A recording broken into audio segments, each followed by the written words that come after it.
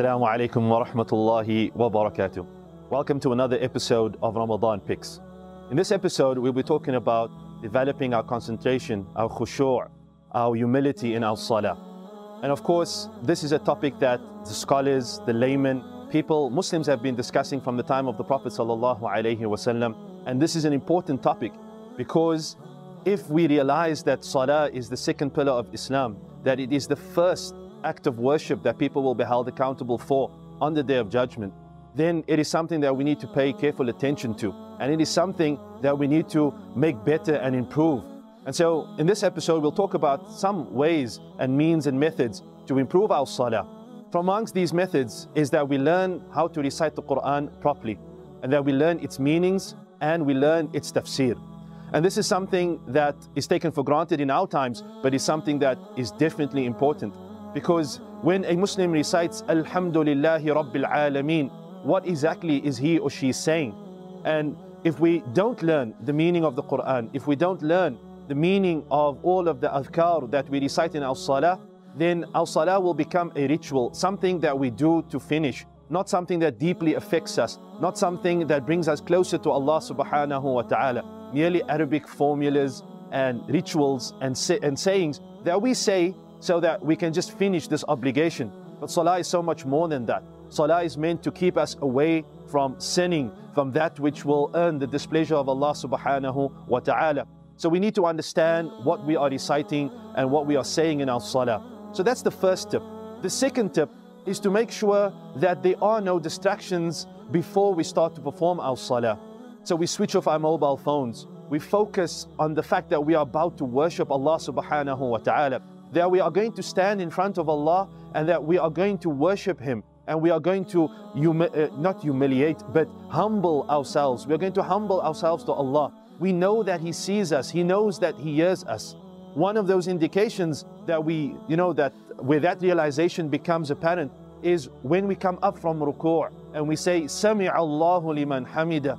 Allah hears those who praise Him and who glorify Him. And then we say, Rabbana walakal hamd that for you, our Lord, for you, our Master, there is praise. So, this realization that you are communicating with Allah subhanahu wa ta'ala, you are fulfilling your purpose in life, that is going to cause you to perform your salah as if nothing else matters. And we hear these statements from amongst the Salaf where they used to say that you should pray as if that salah is the last time that you will worship Allah subhanahu wa ta'ala. Imagine that. Imagine that just before you were about to pray, someone told you that this is going to be the last salah. You will not worship Allah again. How would you pray?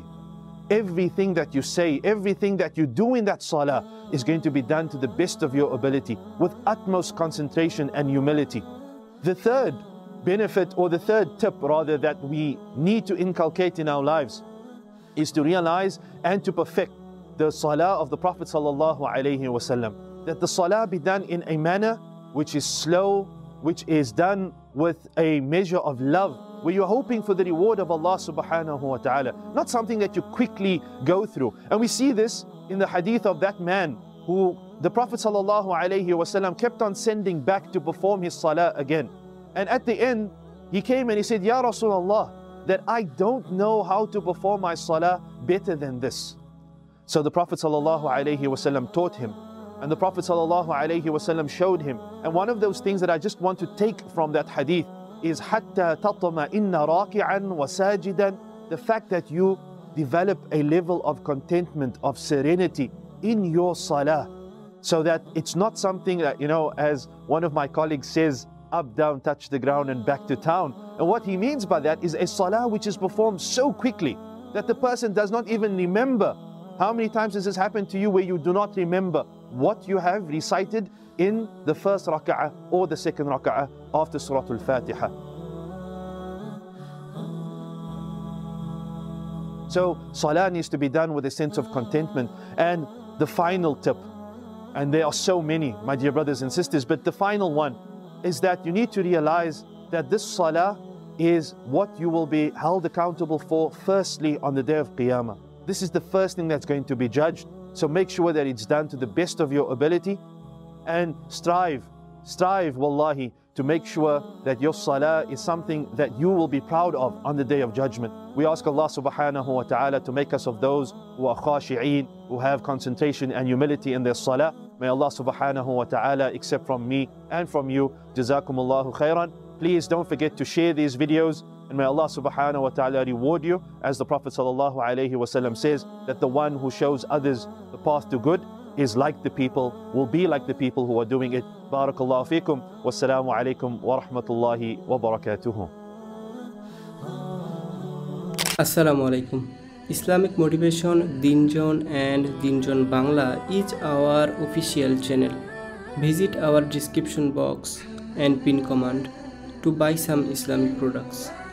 Thank you আসসালামু আলাইকুম Islamic motivation দিনজন and দিনজন Bangla is our official channel visit our description box and pin comment to buy some Islamic products thank you আসসালামু আলাইকুম Islamic motivation দিনজন and দিনজন Bangla is our official channel visit our description box and pin comment to buy some Islamic products thank you আসসালামু আলাইকুম।